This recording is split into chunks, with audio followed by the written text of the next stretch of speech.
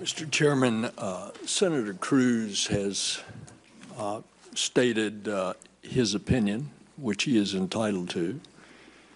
Uh, but uh, I want to put on the record that this senator feels like uh, that Senator Cruz has gone over the line.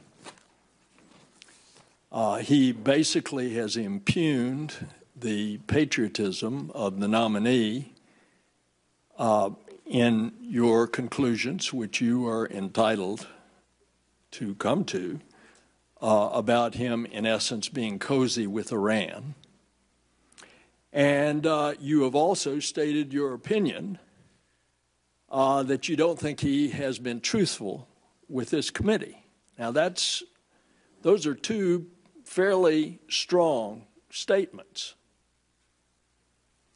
And uh, I, I couldn't help but, having had the privilege of serving on this committee for a while, and seeing the two former chairmen on either side of the nominee, and I looked at the former Republican chairman, John Warner's face, as some of the questions were asked, as he visibly winced.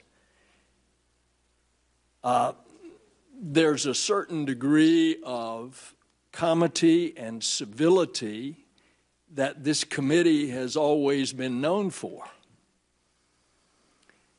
And clearly, in the sharpness of difference of opinion, uh, to question, in essence, whether somebody is a fellow traveler with another country uh, I think is taking it too far. And I would encourage